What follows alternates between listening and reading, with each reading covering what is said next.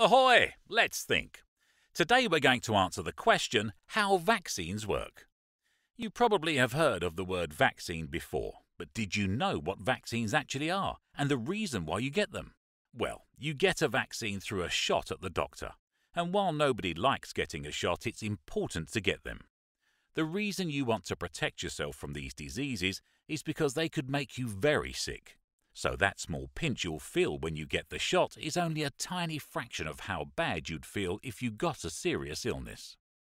Shots protect you by giving you a tiny version of the germ that's dead or very weak. If you end up getting the whole germ, it would give you a disease like chickenpox. But giving only this tiny weakened or dead part of the germ, it actually doesn't give you the disease. Instead, just the opposite happens. Your body responds to the vaccine by making antibodies.